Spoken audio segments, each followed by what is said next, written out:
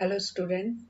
Today our topic on tendinopathy or different type of tendinitis and tendinosis. Okay. And welcome back to Physiotherapy Junoon channel. I Dr. Vinita. What are the tendinopathy? It's a failed healing response of the tendon with haphazard proliferation of the tenocytes, intercellular abnormalities in tenocytes, disruption of the collagen fibers, and subsequent increase in the non-collagenous matrix. Okay. The term tendinopathy is generic, okay, and descriptor of the clinical conditions. Both pain and pathological characteristics associated with the overuse in and around the tendon. So, in today's topic, we see tendinitis and tendinosis. What is the tendinosis? It's a chronic, persistent, or recurring condition caused by repetitive trauma or an injury that hasn't healed. Your patient having prior condition of any tendon injury, okay, and patient continuously using that tendon, using that limb, using that uh, deformed limb, okay, and that due to that the repetitive trauma or injury which is not healed properly causes chronic chronic condition. It is called the tendinosis. Tendinosis is a terminology for the chronic pain in the tendon. Tendinosis is a chronic injury caused by an accumulation of small tears in the tendon that have failed to heal properly over time. Here you see that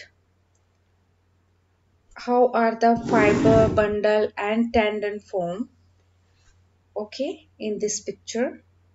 Next we see the tendinitis what is the tendinitis tendinitis is an acute sudden short term condition in which inflammation is caused by a direct injury to a tendon.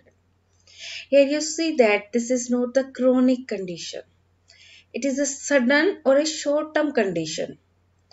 Like if you are uh, playing something, if you are uh, doing something, and that time of movement you got an injury and that injury the sudden trauma the short term condition and the inflammation because there, there is a direct injury to the tissue. There is inflammation. That is called the tendinitis and itis means there is inflammation. Here you see in the picture? The redness is showing the tendinitis because injury on the tendon okay. And there is direct injury and it causing the inflammation. Okay. That is the tendinitis. Next here we see that what is the difference between tendinitis and itis? Many of the students are very confused about these terms. The difference are reflected in their suffix with osis and meaning means the abnormal or a disease because that is chronic. Because in past patient having that condition but he doesn't do anything for that condition and he or she using that limb extremity continuously and that becomes chronic. And the term is itis as i mentioned earlier meaning inflammation. The symptoms and patterns of the disease also vary. Okay. Because if you have a chronic condition patient and if you have a just short term patient okay or uh, we can say the acute patient then you see the difference both of them so there is a vast difference between the, both the conditions when you see the patient you will check how this is tendinitis or tendinosis like in tendinitis, here you see in this picture, tendinitis, there is inflammation or a direct trauma, here tendon rupture, okay, and the tiny tear.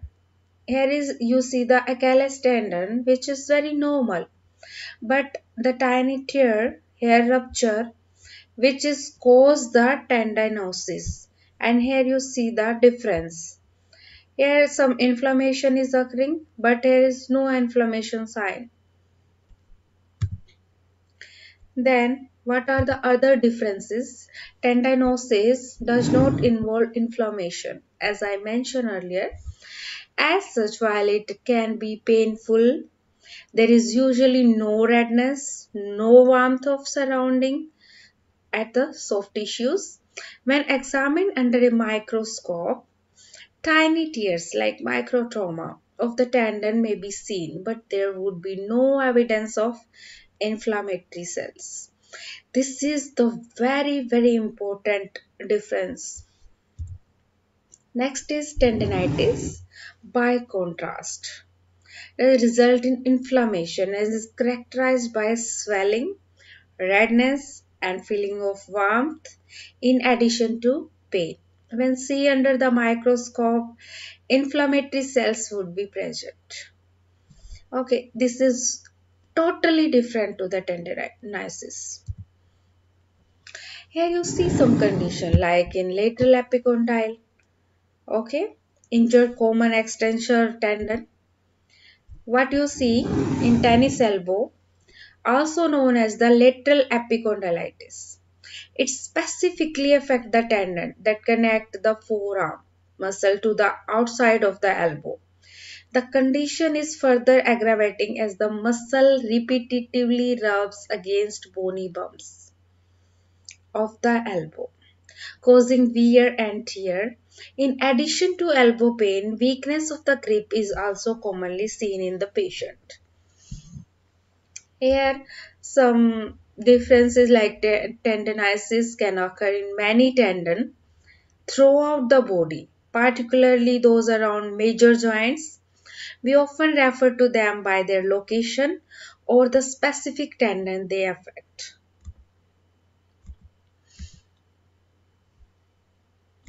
Next is the jumper's knee. Jumper's knee involves the tendon that starts on the patella kneecap and extend down the front of the knee to the tibial tubercle. The shin bone.